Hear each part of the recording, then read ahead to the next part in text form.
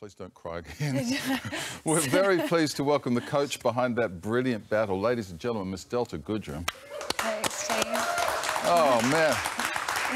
How does it feel to make a country cry?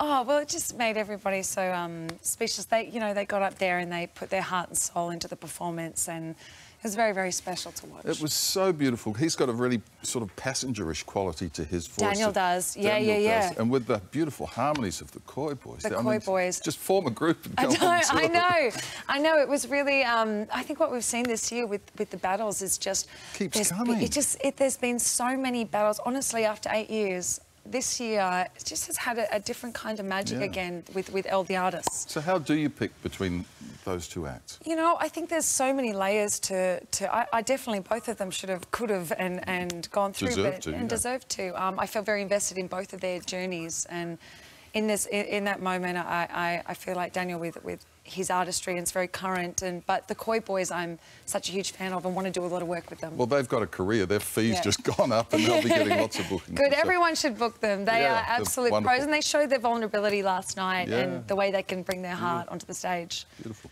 You picked Sheldon as your wild card. That was another big call. I mean, Yes. he's, uh, gee, he's, he's putting it out there, isn't he? He is. You know, I think that the show really, we felt like we, everybody really discovered him last year. And I think it's exciting that as an all star, he was last year and there's still a fresh discovery on him. And he's got so much to give. So I'm, I'm very invested in the challenge of, of bringing Sheldon's continued like level just higher and higher and higher. He's, Yeah. he's amazing. He is. During the knockouts, you had that beautiful moment um, when, when you joined them on stage and Yeah. played, played piano. That was just awesome. Well, It's it- very special for everybody. Thank you. No, it felt like when we were doing the mentoring and we started to really connect about all our stories and, and talk about being survivors and about um, it felt right to be to support them in a different way for me to be able to share the stage in a that I wanted to support them and, and back them up and have their back, so to speak, in, in my own way through music and play piano for them.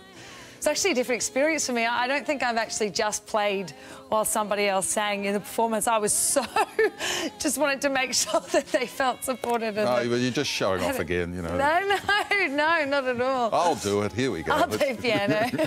Um, your team's fantastic. Uh, You know, it sounds such a cliche, but this, they're so. Everybody is so good there. So good. Definitely, I definitely feel like each year I, I find a new um, a new gear shift, even even as a coach. And I think mentoring is my favourite part. And, and I feel that this year, my uh, even though uh, my team's been around for a while, these last eight years, I do Sheldon feel like Look my team is one to watch this year. We've got, I, I do feel when you see the finals that my team is So you've got best. Sheldon there, and uh, and that's Jordan, isn't it? Jordan is 14 years old, so he is the youngest person that we've ever had go to finals.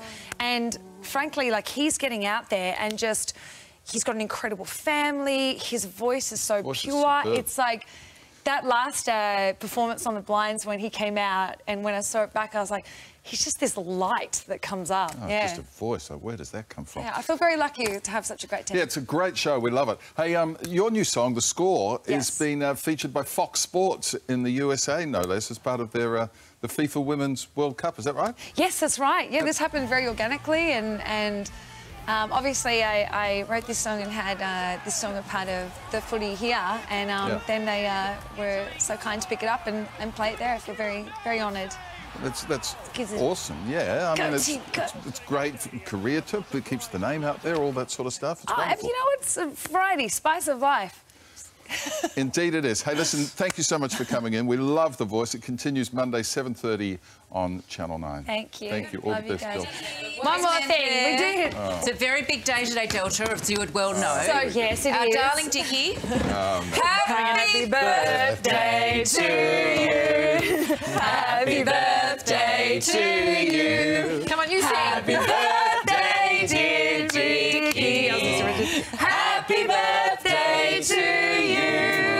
You. Thank you so much. Hooray! Hooray! Oh, only Make a five candles. That's One quite. more now. And the good Lord's already blown one of them. Hey! Greggs. Thank you, thank you, thank you. We love you. Congratulations, All right. Nikki. How are you feeling, Dickie? I'm feeling very old. Thanks very. Timeless is the word. Timeless. Nice to be here with so many great friends. So thank you very much indeed. I appreciate it. It's also our boss's birthday. It Have is we mentioned indeed. that? yeah, happy, Happy birthday. Both milestone Yeah. birthdays. Don't know that he got a cake. Gotta get a lot more than a cake. You're right, save you a slice, Bello. He's got the right number of candles on for him too. Ah, very nice. Congratulations, Is that what I'm Dickie. All right, we'll Thank stay with much. us because coming up, Jeff Bourne and his wife.